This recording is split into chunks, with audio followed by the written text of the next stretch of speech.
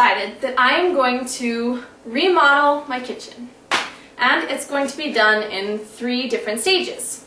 First of all, we are going to be redoing the tile. We're going to take out this pink that has pits and the grout is tired and worn out and there's wearing out of the tile in different places. So we're going to put in this granite tile along with this nice glass tile backsplash. Then we are going to be putting in a new sink and because this one's kind of tired and old. And then we're going to refurbish the cabinets with um, these new hardware and we're going to give it a fresh coat of paint. As you can see, we've already added a few different stainless steel fixtures and we've already taken out our old um, oven. So, are you ready to get started? Well, before I make too much of a mess in here, I am going to take a few simple measurements. And one of the things that I have to help me is a visual guide. I drew a basic outline of what our kitchen tile counters look like, and I'm going to draw in the measurements where I measure them. Alright, so from about here, so that's about 72 inches by about 30 and a half inches. So I'm going to write those down.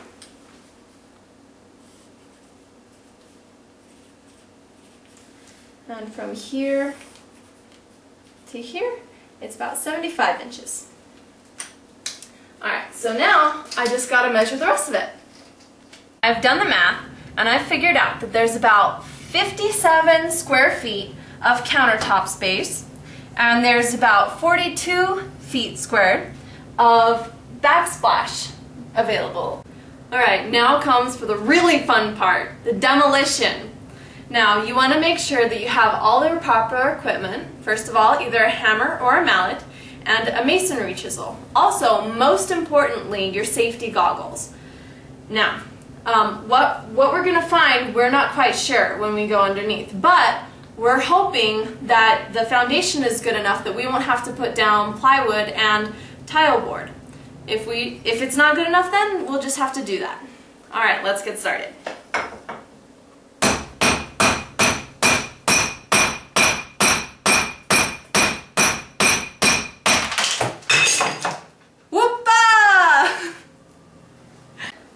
I've been at this for about 10 minutes now, and I've discovered the most useful tools for the job. One is a sledgehammer, and the second is a finer point uh, masonry chisel.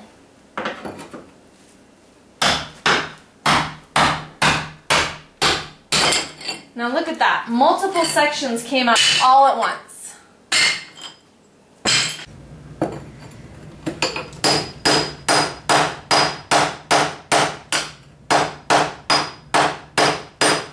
Wow. This is a lot harder than it looks. I think I'm gonna be sore tomorrow. I figured out, well I've had plenty of time to do that while I'm whacking away, that I have about 57 square feet of tile to upheave. And each of those tiles, in uh, each of those square feet, it takes about nine tiles to fill up that square foot, and each of those tiles takes about 10 good whacks with a hammer to get it up. So I figured that it's about a little over 5,000 whacks to get all this tile up and into the garbage can. And with just the meager bit that I've done so far, I figure I have about 4,500 whacks to go. So, you know, these guns, yeah, they'll be a little bit bigger tomorrow. Here's a few tips that I have learned in this long process of undoing the tiles. Well, I started wearing a glove once I started getting scrapes and cuts and all kinds of nasty things flying at my hand, especially when you're scraping along to get that nice low leverage. So, I recommend at least one glove, if not two, whatever you need. And look, almost done. All we need is about, uh, I'd say, 500 more good whacks and we'll be all done with the demolition.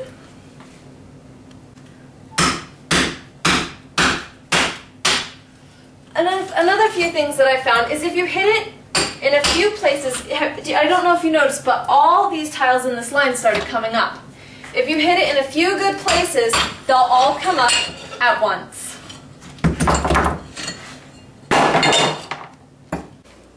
Alright, well, that's where at for tonight. It's been about three hours so far, and we've gotten up all the tile on the counters. Alright, I've done some thinking and I'm looking around here and I'm thinking the best thing to do would be to strip the counter of all the old concrete. Because as you can see, it's we've gone down to the chicken wire in a few places and we have these major gaps along the sink. So what we're going to do is we're going to strip the concrete and then we're going to put down new plywood and concrete board so that we have a better base for our granite tile. At the same time, we are going to take off this old tile backsplash and we're going to replace it with new tile backsplash.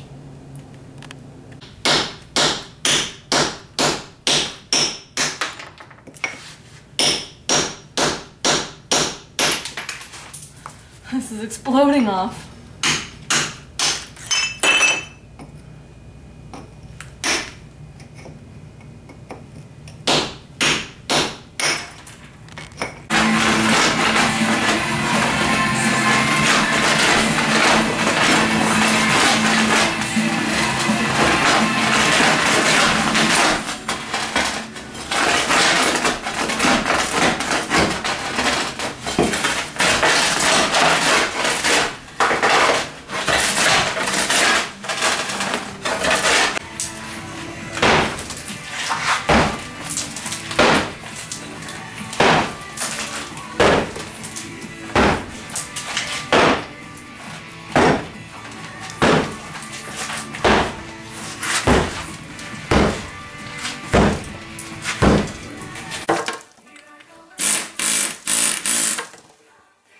Well, I've been using this pneumatic chisel because honestly the backsplash was impossible to remove. So this has cut my, um, my tile removing time in half and I am very much happy that we got this.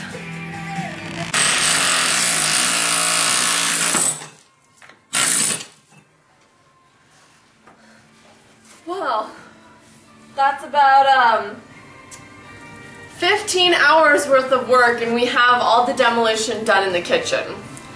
All that's left to do is clean up and then start on laying down the tile in the counters. This is about, when we're all done, we'll have about a $1,000 into this project. When we originally had $26,000 estimate for a, um, a construction people to help um, take care of the tile and put on new countertops. So was it worth it? I think so. I think you'll notice that we now have our first piece of plywood down and we have it centered in the middle of the window and the cabinets. And that's done mostly for aesthetic person reasons, but also because it's just more practical. And what we decided is that we'd use the outside of the outline because it's just, it's easier to use and it's easier to square the sink. So we taped it on and next we're going to outline the middle with a Sharpie and then we'll be good to start cutting. Alright, so we have lined up four corner holes so that it makes it a lot easier so that the jigsaw, place, jigsaw blade can cut it up.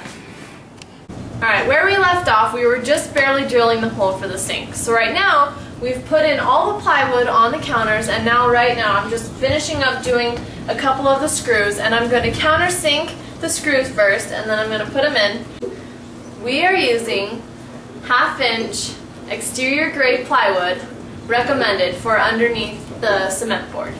Alright.